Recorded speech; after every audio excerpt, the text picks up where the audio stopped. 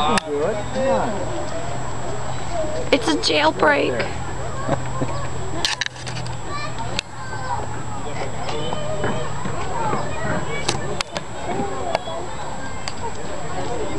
He wants to go somewhere, see? Right, good luck.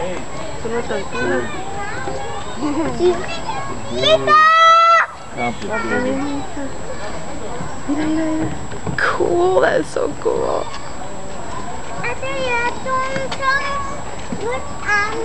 These things live for hundreds of years. ¿Dónde está?